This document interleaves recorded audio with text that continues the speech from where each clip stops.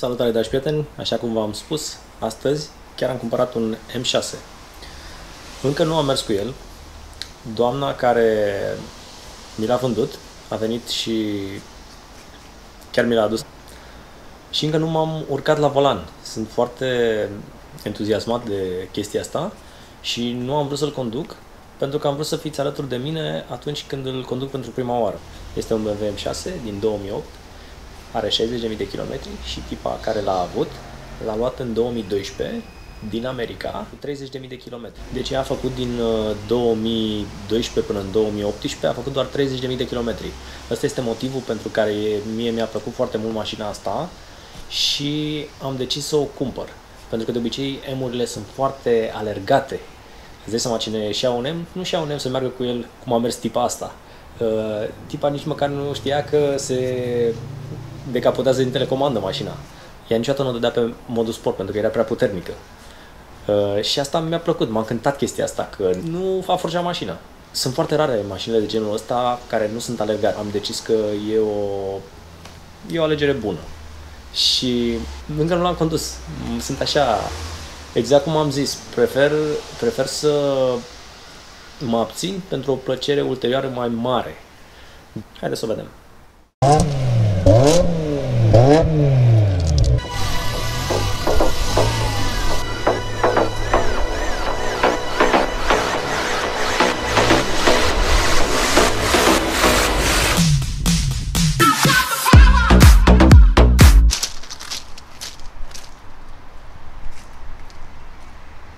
Prima chestie nașpa, n-are keyless entry.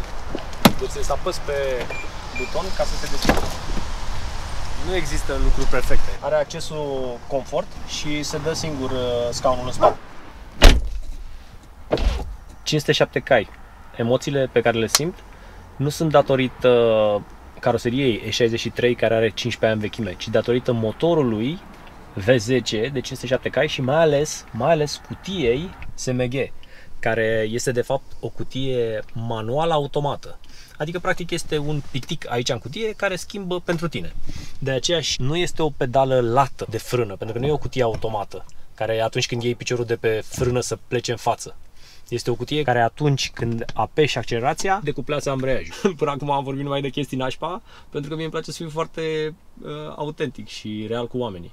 Deci uh, nu avem keyless entry, nu avem keyless go și fiind model de America avem și kilometraj în mile. Dar asta nu e o problemă că pot să comand uh, un kilometraj fără nicio problemă. Dacă știți de unde să comand, lăsați-mi în comentarii. A doua chestie care mă deranjează e materialul acesta ieftin, care se decojește. Chiar am nevoie de voi să-mi spuneți unde pot să găsesc o chestie de aluminiu. Contează foarte mult aceste detalii, pentru că eu sufăr de OCD și m-ați ajutat foarte mult. Dacă îmi spuneți exact, lăsați un link în, la comentarii să-mi spuneți și mie de unde să cumpăr sau să comand o chestie de genul ăsta. Hai să dăm ok.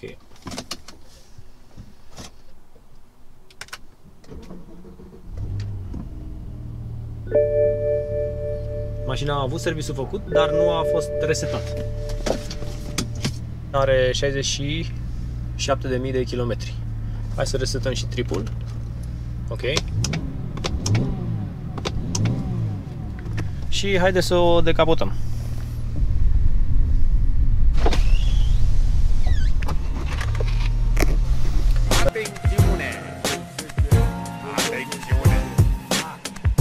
Avem uh, alături de noi pe Ionuț, cel care mă ajută uneori cu editarea. Salut Ionuț, salut, salut Fani. Salut. La toate emurile și la m pe care l-am avut, vibrează un pic relantiu. Nu știu din ce cauză, dar așa fac uh, foarte multe emuri. Vibrează puțin relantiu. De aici reglează cât de repede să schimbe viteza piticului. Hai să ne trecem și prin portbagaj. Unele modele de BMW au cameră. E normal că atunci când iei o mașină second hand să mai aibă și imperfecțiuni. Tipa de la care am luat-o mi-a zis că a schimbat bateria și că ar fi o baterie destul de nouă.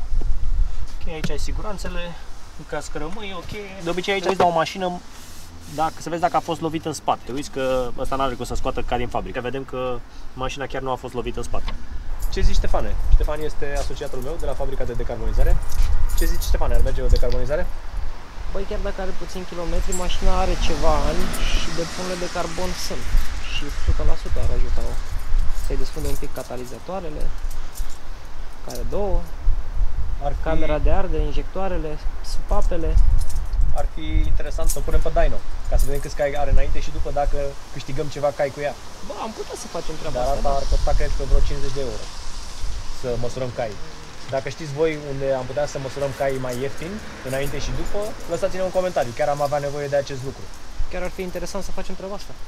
Eu aș vrea să spăl motorul, dar mi-e frică să nu se întâmple ceva dacă fac chestia asta. Că am auzit o grămadă de horror stories și sunt sigur că și voi știți. Uh, unde aș putea să spăl motorul la niște profesioniști care să-mi garanteze că nu se întâmplă nimic cu motorul. Eu când am cumpărat M5-ul, în loc de aceste filtre de aer standard, stock, erau puse niște filtre KNN. Și aș vrea să fac acest lucru, să-mi schimb aceste filtre cu niște filtre KNN. Asta poate fi un project car pe care să-l facem împreună, eu împreună cu voi. Voi mă ajutați cu sfaturi și eu le pun în uh, practică. Suntem în modul drive de 400 de gai. Piticul din cutie tocmai a decuplat uh, ambreiajul și după cum vedeți este în drive și eu nu trebuie să țin picioarele pe frână. O luăm exact pe unde am fost cu Ioana, poate totuși găsim camera aceea. Ți se pare rigidă mașina Ionuț? Nu, momentan nu am. Adică nu s-a, n-am nicio groapă să, să simțim cu adevărat uh, suspensia. Dar uh, București e plin. Mulți dintre voi îmi cere să fac un uh, POV, dar nu prea e genul meu să fac uh, point of view, nu știu să zic. Cum vi se pare point of view? Ar trebui să fac mai des? Mie, sincer, nu prea îmi place, prefer să am mai multe camere și să pot să fac eu caturile din ce camere prefer. Dar, cum se apără groaba? E ok, nu e foarte rigid. Chiar Asta confortabil. este modul confort. Entertainment, are și entertainment.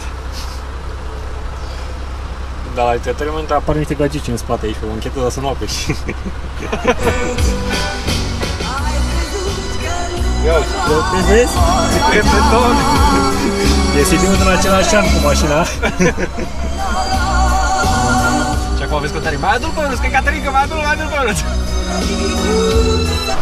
Uite, bă, ne-a făcut și Fordul K. Deci, pe cuvântul meu, dacă mi se pare foarte slabă mașina, vezi? Deci, atent, acum am pedala aproape la plană. Deci la plană fără kickdown, fii atent. E la plană. Vezi cât de slab e? Da, nu e... Parcă o ține ceva, nu știu. Parcă ține ceva. Da. Mi-e, mi-e frică, sincer, mi-e frică să dau acum pe, să dau pe N-Drive și să o calc brusc, mi-e frică. Deci jur, jur că mi-e frică. Ce crezi, ce vie? Serios? Da. Suntem ca doi copii mici care și-au luat o jucărie. Mai facem un point of view, să-i mai satisfacem pe prietenii noștri care vor POV. Mișto, nu? A, ce Zi. pare interesant e că e foarte confortabilă. Mă așteptam să fie... Mai rigidă? Da. Păi fii atent, hai să, hai să dau puțin pe M și să vezi rigid aici.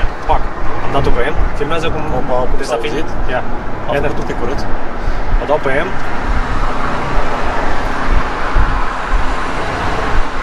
Și acum să o calc.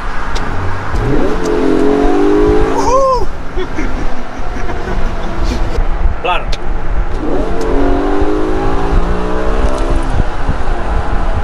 Oricum, parcă nu e așa impresionantă.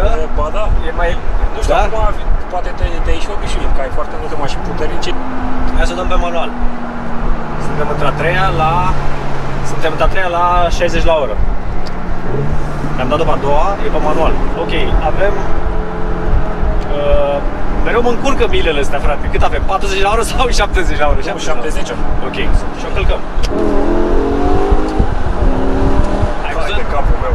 Care e faza? Cu cât e viteza mai mică, cu atât senzația este mai puternică. Exact. Încercăm o viteză mai mică ca să experimentăm o senzație mai puternică.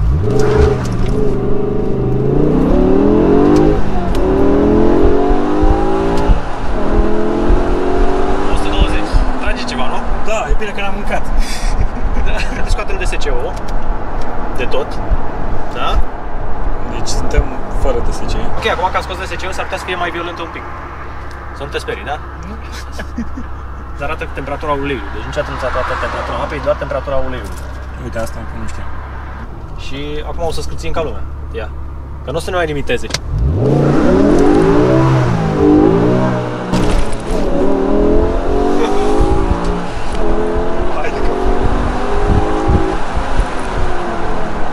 Ne-am dus până la 80 de mile.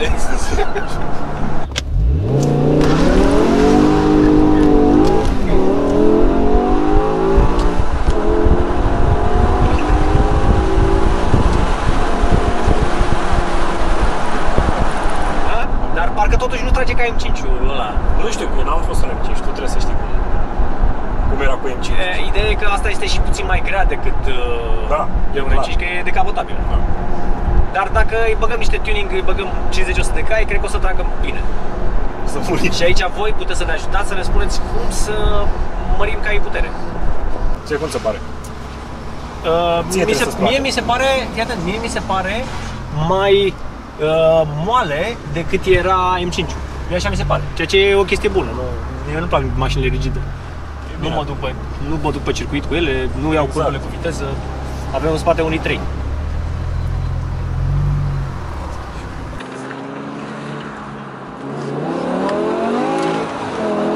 Dar a făcut trebuie, frate, vezi? Băi, frate, aruncă, bă, aruncă! Hai, o ducem înapoi. Îți iei 3. 55 la oră 60, 66, 70 80 la oră, da? Ai văzut gata scârț? Scârțul de-a treia la 104 Gata? Deci dacă o să vezi că îi dau acum tapă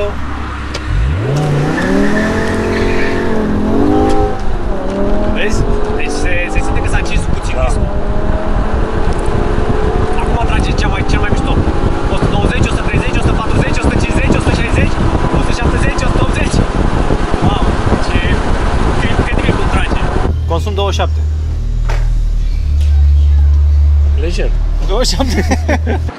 Sunt uh, speechless. Data viitoare trebuie să o conduci și tu. Să, îți dai seama, atunci o să avem ce să vorbim. Eu nu, nu, lasă Nu prea am ce să zic că mașina e super. N-ai, adică cine ar găsi ceva nod în papură ar fi doar invidios, părerea mea. Da, poți să-i găsești în sensul că... Da, la un nivel foarte înalt. Nu, în sensul că, deci n-are soft close, n-are keyless go, n-are keyless entry, adică chestii care Dar au da, apărut sunt oricum. detalii. Da. Cinciul meu le avea. Da? Avea și keyless, avea, avea și soft close, avea și keyless entry, avea și keyless go. Asta trebuie să stai cu cheia, dar până la urmă nu e așa greu să bagi cheia aici, știi? Dar cine și-a mașina asta și-o ia strict pentru senzația care o oferă, nu pentru nimic altceva. Și îți oferă senzații. Da, și îți oferă. Puterea motorului este distribuită roților prin intermediul a două discuri de ambreiaj. Le-am văzut cu ochii mei în momentul când am uh, schimbat la M5. Sunt două discuri de ambreiaj pentru că suprafața unui singur disc este prea mică să pună la roți atâta putere. Exact. Acum suntem pe confort aici, vezi? Că uite ce mișto la Da.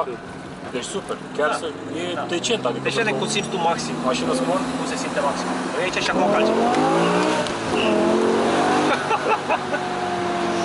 Mi-a zburat telefonul din buzunar pe cuvânt. nu, nu s-a Sunt niște role alea care s-au la. Iar. Nu e de la noi. Cred că e de la mașina din față. Da, nu, cred- nu cred că e de la noi. Și chiar dacă ar fi, nu e grav. Alea sunt niște role și o curea. Băi, e o mașină care face mașina, dar nu știu care. Bă, să nu fim noi, dar nu, Să nu fim... da, nu dau seama. Cine se ia cu noi? Un Ford.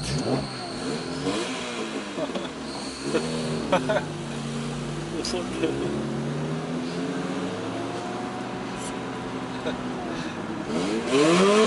Wow, leu, m-am speriat.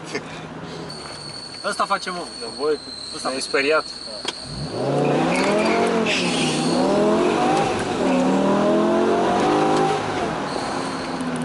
Ăla faci mă sau noi Ăla facem? făcea, mă, ăla făcea. Vrei să vezi? Ia uzi. Da, ăla L-am face. auzit Mamă, toate. dar s-a auzit că e cool, zici că era 3D. Ia uzi. Da. Da, are probabil că cureau de accesorii. L-ai diagnosticat repede? Da, imediat. Băi, ne urmărește, deci zici că l-a plătit cineva.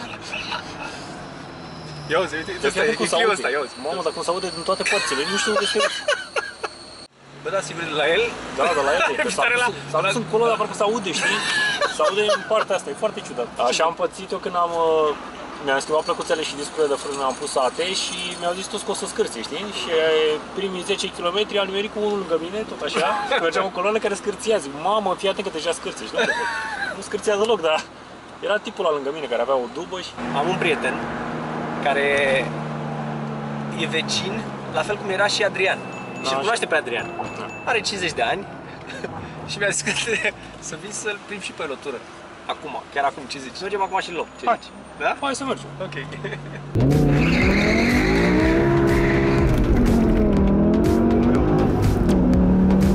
S-a ridicat camera. E, da, asta, tip... Tip cactus. Opa. Ai văzut ăla cu Ane Marie? Ăla, cu am văzut că ai o filmare aeriană, nu? Nu, nu, nu. Cu, cu, cu o tipă aeriană.